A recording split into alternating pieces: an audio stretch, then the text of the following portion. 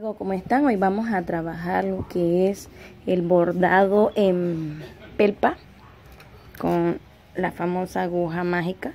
Yo la forré así para que no me pudiera lastimar y como era muy delgadita entonces la forré con fome.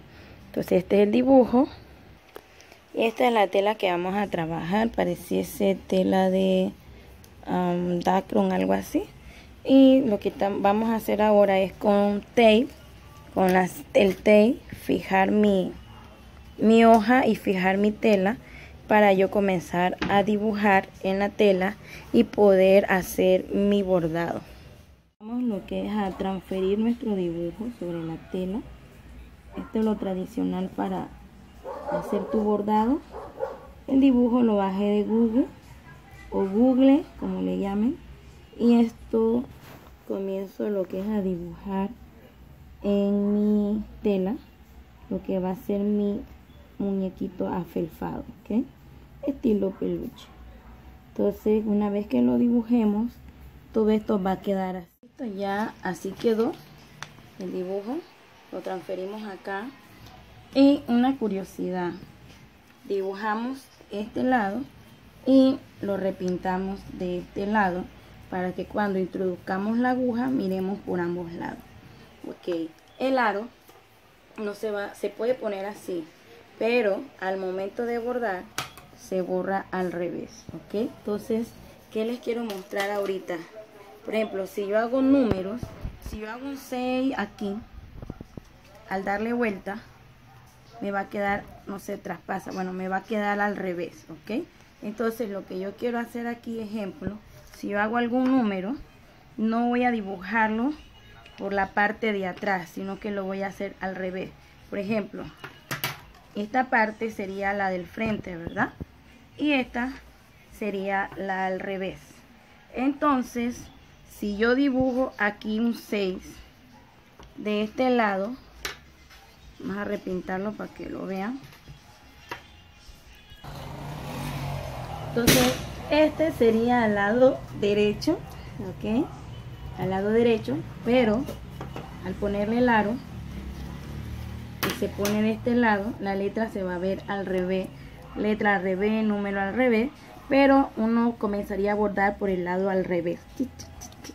Y el resultado se va a ir viendo de este lado con este tipo de aguja.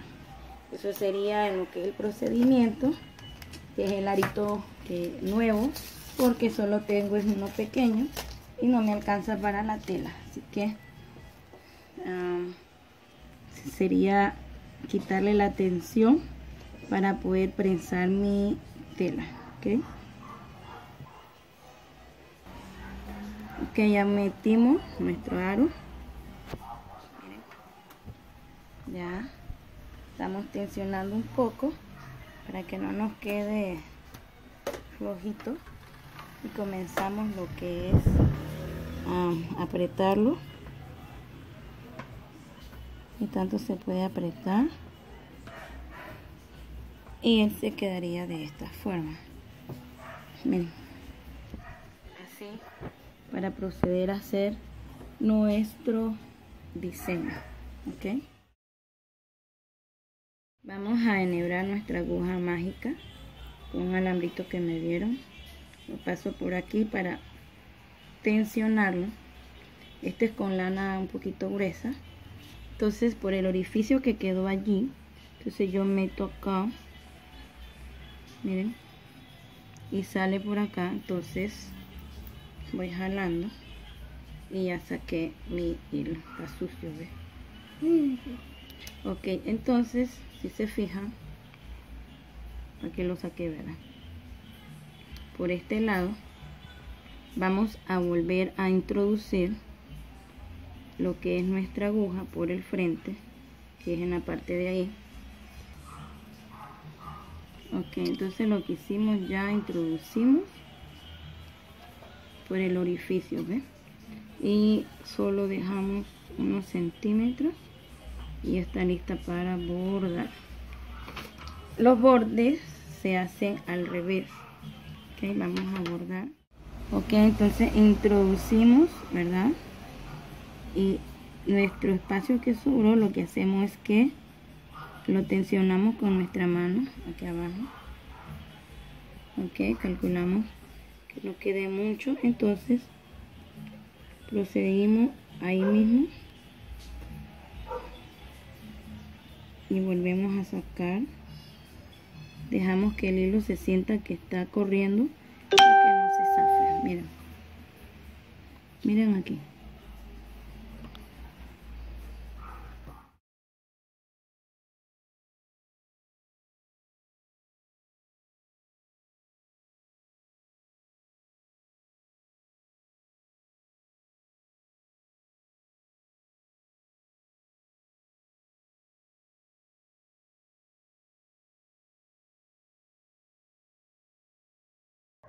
Bueno, así llamamos lo que es este bordado con aguja mágica.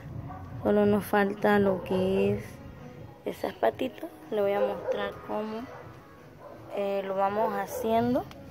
Eso es con lana normal, una lana de esa que usamos para, para tejer. Y vamos recortando. Así que ya vamos a mostrar el procedimiento para hacer esta técnica de afelfado. Con la aguja mágica, el procedimiento de bordar es así. Bien. De frente, el hilo hacia atrás, de frente, meto la aguja. En este caso, inserto hasta el fondo. Y después saco, no mucho, sino poco. Y vuelvo a introducir. Pero con mi otra mano bueno, soy principiante, así que con mi otra mano lo que yo hago es que voy sujetando. Miren cómo va quedando. O sea, estoy haciendo lo que es el círculo. Entonces, aquí con mi otra mano yo voy a socando lo que es el, tejido. Hay unos que lo hacen sa, meten y van sacando. y la verdad que a mí todavía me, no tengo práctica en mi primer bordado. Entonces, a la medida que voy pinchando, yo voy jalando por abajo. Y voy socando mi nudo, ¿ok? Así se le hace a todo alrededor. Esta lana es una lana completa, es lana normal, de creo que de 4 hebras, o sea, no ni siquiera de 3 ni de 2, así que ella es bien gruesa y por eso cuesta un poco manipularla eh, por el grosor. Ya en este caso lo que hicimos ya es recortarla, miren. Así lo que vamos a hacer es con este el mismo procedimiento. Todo por encima. Miren solo voy soltando los nudos. Miren y ya voy moldeando. Miren. Ok entonces yo voy a buscar mi línea. Esta es mi línea abajo. Así se nota la del lápiz. Ok entonces ahí es donde yo voy a recortar hasta el tope para darle molde igual acá para ir moldeando hasta el tope miren.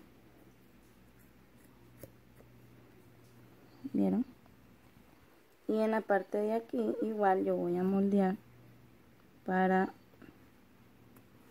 lograr tener una división miren. Solo tengo esta tijera ok me dificulta un poco más. Ok listo. Entonces ya aquí yo voy solo recortando y voy moldeando. Con mi tijera voy empujando. Miren voy acomodando mi lana. Para que vaya tomando forma y la altura que yo quiero que tenga.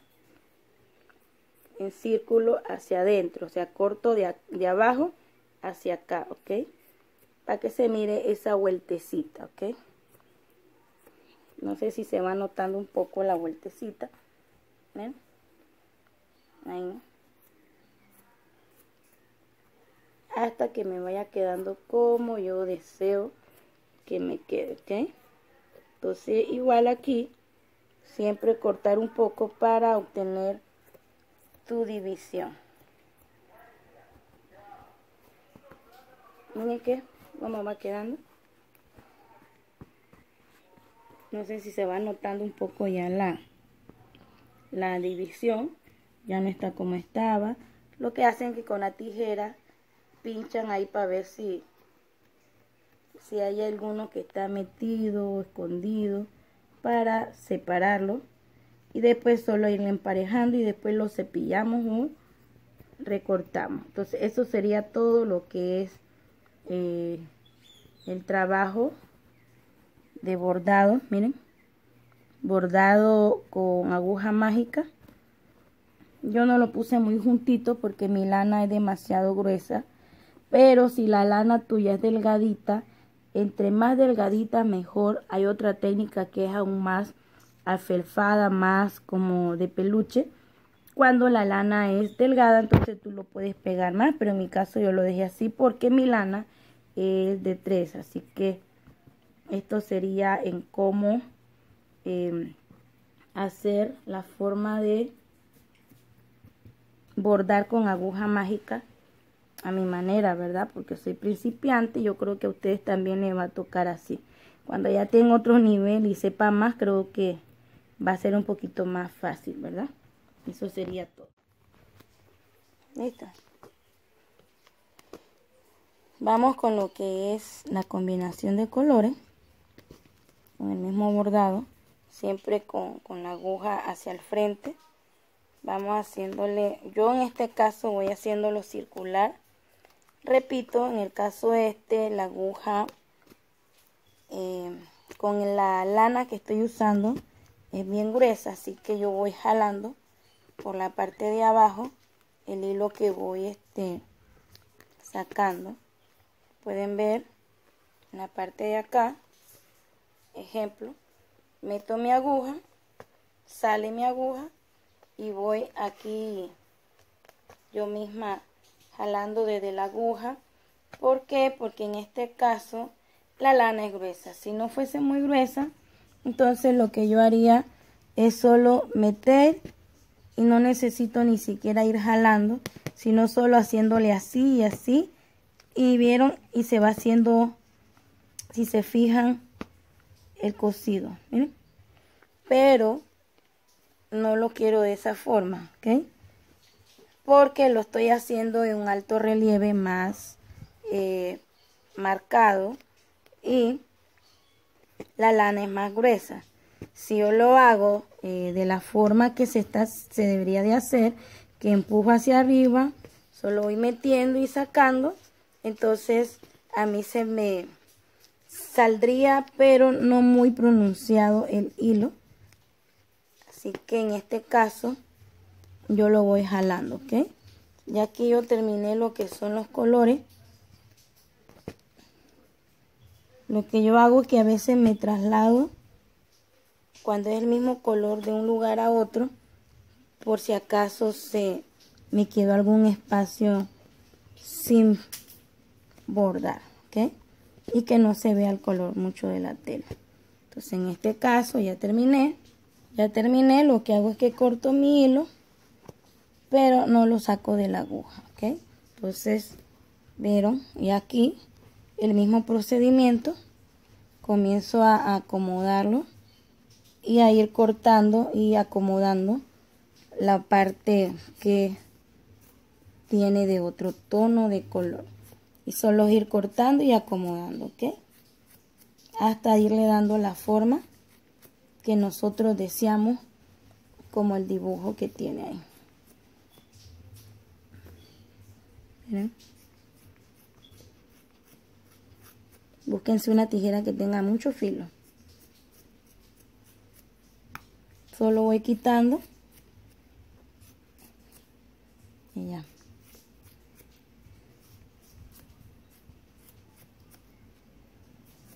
Después lo que yo procedo es acomodar y a cepillar, ¿ok? Entonces, en este caso, tenemos que ir separando los colores y haciendo nuestra pequeña división.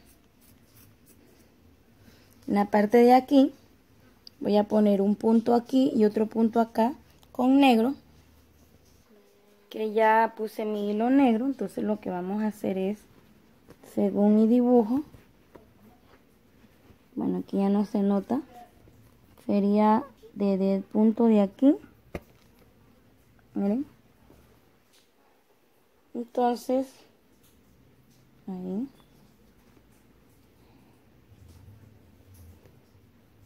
de este punto lo voy a sacar aquí.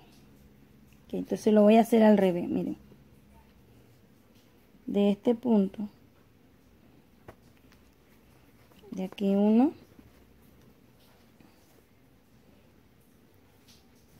lo saco.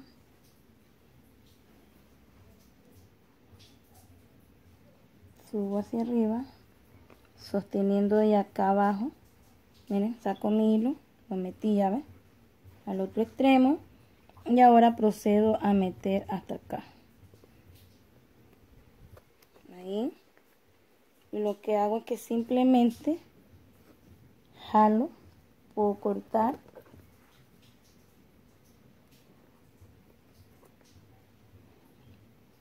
Y ya tengo lo que es mi división. Miren primero. Mi primera división de los deditos. Ahí. Ok entonces. Aquí ajustamos. Y tenemos acá nuestra segunda división. ¿por qué no lo remarco más?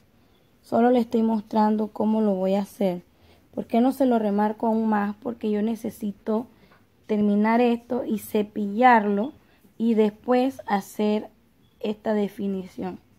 Solo para que ya le quede la idea de cómo hacer esas líneas para que se note un alto relieve. Así va quedando lo que es este osito de felpa miren con pura lana pura lana. Y ya lo cepillamos entonces uno lo cepilla con un cepillo viejo sacarle la pelusa extrema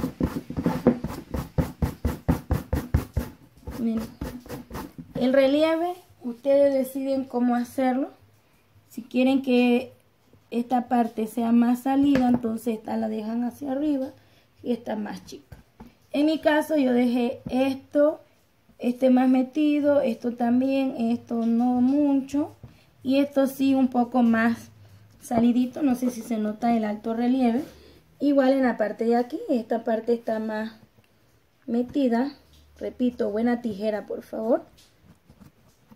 Eso es lo que a veces me ha afectado mucho el trabajar, que no tiene muy... Y eso que es nueva, nueva la tijera y miren que está rogada para cortar.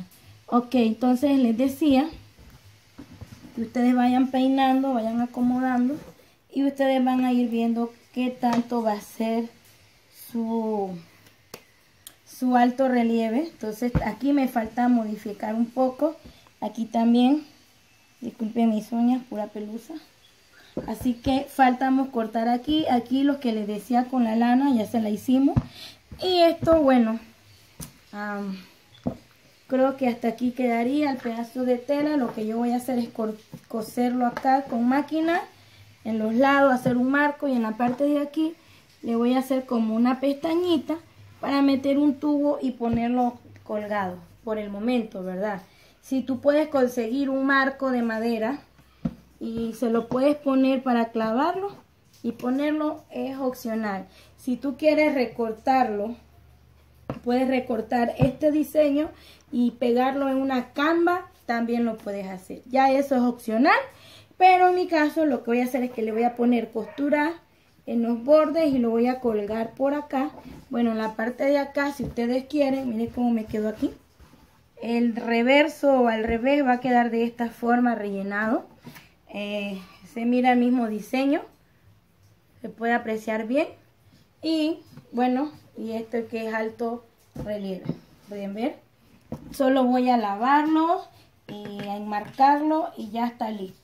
Así que lo que voy a hacer es mejor ya, para no ser muy largo el video, es hacer, presentárselo ya terminado. Y más adelante eh, voy a seguir subiendo videos más cortos de cómo bordar con aguja mágica. Vamos a seguir el procedimiento para aquellos que, yo sé que no, no expliqué tanto a las puntadas. Voy a buscar otro tipo de lana un poquito más delgada para que sea más fácil eh, pinchar. Así que espero les sea de gran bendición como lo ha sido eh, para mí. Y bueno, lo último, antes, el motivo y el por qué escogí este osito, ¿verdad? Mi esposo y yo estamos de aniversario de matrimonio. Vamos a cumplir seis años de casado, por eso es el 6. Así que este es mi regalo para él. Y precisamente eh, mañana es 23. Sí, mañana 23 de septiembre, así que vamos a estar de aniversario. Este va a ser mi regalo para él. Él me consiguió los materiales, más sin saber que yo iba a hacer esta manualidad. Esto puede servir para ponerlos eh, ya sea en funda, en cojines, en almohadas, en suéteres, camisas, bolsos, como para lo que ustedes quieran eh, ponérselo y en decoración. Así que eso sería todo y vamos a mostrarle ahora cómo terminó. Terminó lo que es de decoración de osito afelfado con aguja mágica. Pueden ver así terminó. Ya lo lavé ya lo cepillé. Vamos a esperar que seque para que se mire más más este peludito más más suelto esto. Vamos a esperar que seque. Pero él terminó de esta forma y espero les guste